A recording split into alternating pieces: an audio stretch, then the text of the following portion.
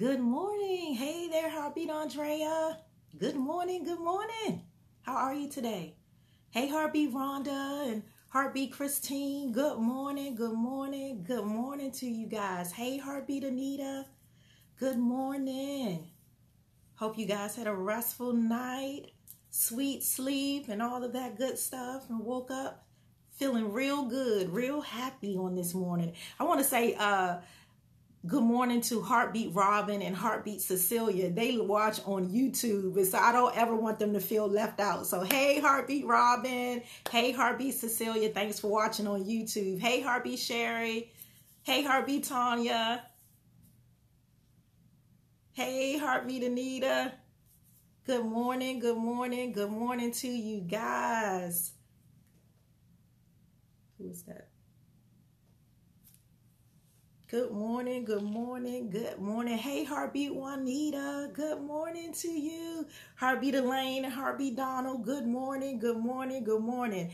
I am Regina Banks, your GPS to wholeness. Welcome to the Gathering of Hearts by God Wants Me Whole. Hey, Heartbeat Sean, and your daily dosage for today, we're going to pick up from yesterday. Listen up. God is speaking part two. Amen. Listen up because God is speaking part two. Hey, Heartbeat Annette, Heartbeat Belinda, Heartbeat Smitty.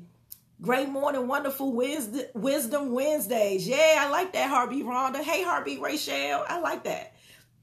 And so, you know, we we were talking yesterday about God is speaking and how we need to listen up to what he's saying so that we can follow his instructions. And so we know that where we are in the world today, it's obvious that God is coming back. And so we've got to get things in order. We've got to get things in line. We've got to be the people who God called us to be regardless of what that means. You know, sometimes we're going to have to sacrifice some things. You know, we're going to have to make changes if we want to see what God sees um, or what God saw when He created us. Amen. And so, again, the daily dosage for today. Hey, Heartbeat Ruby, listen up. God is speaking part two. And so, today I'm going to be reading Luke 46 and 47 from the Passion Translation because we are quick to, you know, call God Lord, but we don't always do what He tells us to do. And so, it says this What good does it do for you to say, I am your Lord and Master? if you don't put into practice what I teach you. And remember, we talked about, um, you know, being a, just a hearer of the word and not a doer of the word, that you've got to do both in order to see God's promises. You have to do both in order to walk into your purpose, to see the destiny that God has already arranged for you. So it, it goes like this what good does it do for you to say, I am your Lord and Master, if you don't put into practice what I teach you? Let me describe the one who truly follows me and does what I say. He is like a man who chooses the right place to build a house and then lays a deep and secure foundation. When the storms and floods rage against that house, it continues to stand strong and unshaken through the tempest, for he built it wisely on the right foundation. And so when we listen to God, He says, one that follows me, one that does what I say, one that calls me Lord and honors me as Lord, says they build their life on a great foundation so that when storms come, they are unshaken. What does that mean? It's like you're a palm tree. You know, when you see palm trees, they may sway to the left, they may sway to the right, but they're never uprooted. You've never really heard of a palm um, tree literally coming up from the root. It can take whatever. It can take the storm. It can take the wind. It can take the hail. It can definitely take the sunshine, but it's never unshaken. It's never unrooted because it has a foundation. But then it goes on to say this, but the one who has heard my teaching and does not obey it is like a man who builds a house without laying any foundation at all.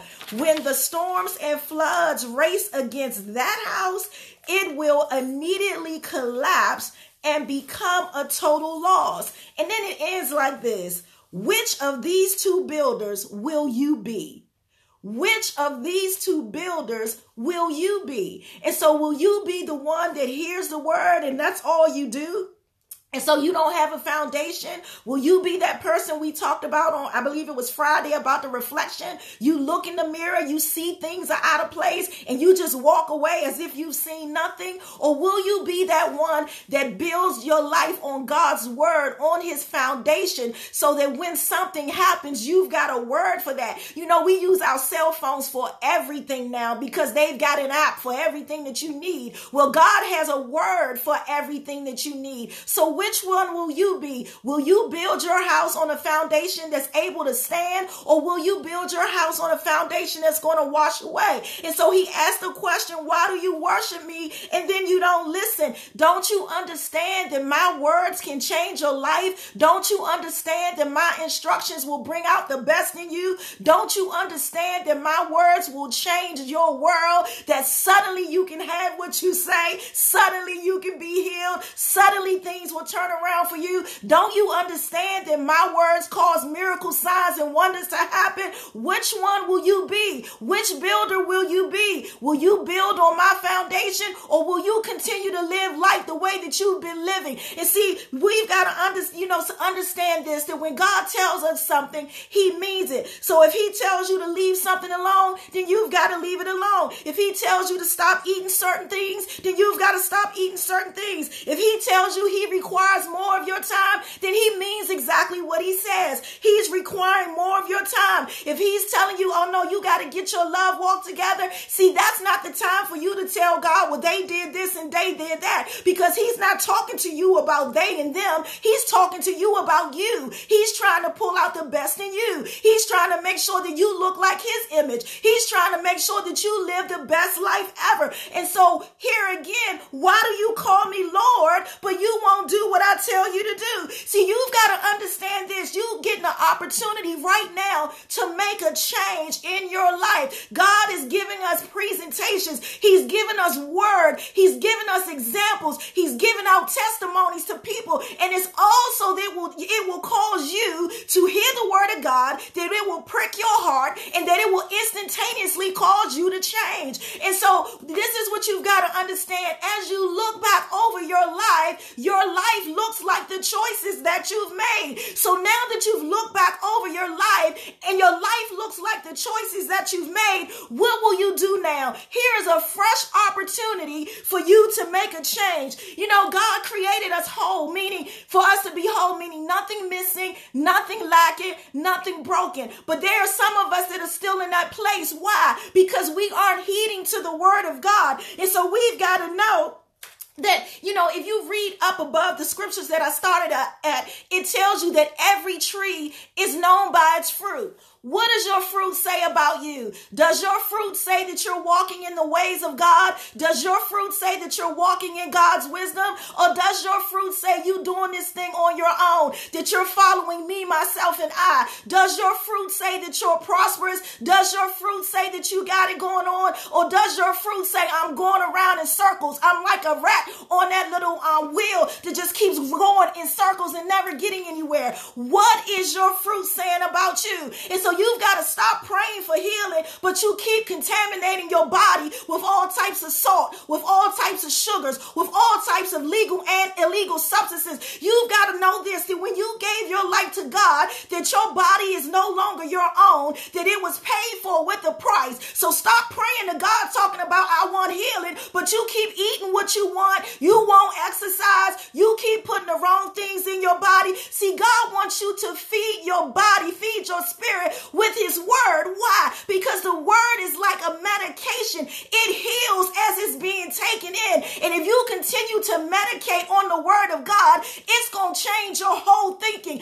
You're going to start loving yourself even more. And when you love yourself, you treat yourself better. Then you'll be more conscientious of what you're putting into your mouth. And so you've got to begin to love yourself the way God loves, loves you. You've got to begin to love God. When you love love God. You want to please God. You want to do things right. Stop praying for financial breakthrough and you don't tithe. Let me just say it how I feel it. It ain't going to happen. If you aren't tithing, there is no financial breakthrough for you. So you can stop saying those confessions. You can stop saying those affirmations. If you aren't putting into practice what God has put down here, it ain't to happen. You to be broke. You to be disgusted and you to be busted. Let the church say amen. Stop praying to God and asking him to mend your broken heart when you keep going back to the very thing that broke your, that broke your heart, that caused you to have a broken heart. He says this, if I am your Lord, why aren't you listening to me? If you call me Lord, why aren't you doing what I'm telling you to do? And so Heartbeat Nation, you've got to know that God loves you much that he sent a word this morning that says, I am speaking. I am calling after my own. I need you to line up. I need you to get your life in order. I need you to do what I called you to do. See, my word is not going to return unto me void. See, either you're going to come on your own will or you coming kicking and screaming. You're going to go through some stuff that you don't have to go to, go through. Is it going to give you a testimony at the end? Yeah, but why go through the knocks when you don't have to? When God is so loving, when God keeps giving opportunities to change, He says, I am speaking. Listen up. Glory to God. Glory to God. Know that God loves you. Know that this is not a word that's coming to beat you up, but it's coming to change your life. God loves you so much that He's saying, Heartbeat Anita, Heartbeat Juanita, Heartbeat Andrea, Heartbeat Christine, listen up. Make the changes that need to be made in your life. And listen up. Listen up, Heartbeat Queen O. Listen up, Heartbeat Yvonne. Listen up, Heartbeat Rhonda. Listen up, Heartbeat Sherry. Listen up, Heartbeat Rachel. He's calling all of our names. Listen up, Heartbeat Regina. He's calling our names. Listen up, Heartbeat Carolyn. I've got some great things in store for you. So if you call me Lord, then do what That is your daily dosage for today. And that was a dosage, let me tell you. Listen, I'm Regina Banks, your GPS to wholeness. Subscribe to the YouTube channel if you have not already. Follow me on social social media platforms. God Wants Me Whole. Visit the website, godwantsmewhole.org. You know how we end it. One, two, three. Come on, say, God wants me whole, and I am getting whole by the minute. I love you guys a bunch. Have a fantastic day. Look out for miracle signs and wonders. Remember, this is the week of miracles. Something spec while amazing is going to happen to you. Be it you see it in, in a gift, be it you hear a word from God that you've been waiting to hear from. I'm telling you, this is is the week of miracles. God is doing the amazing. You're going to see supernatural turnarounds and miraculous breakthroughs in your life if you just listen up. God is calling his people. God is coming back. God is wants to, he, to us to be in the right position.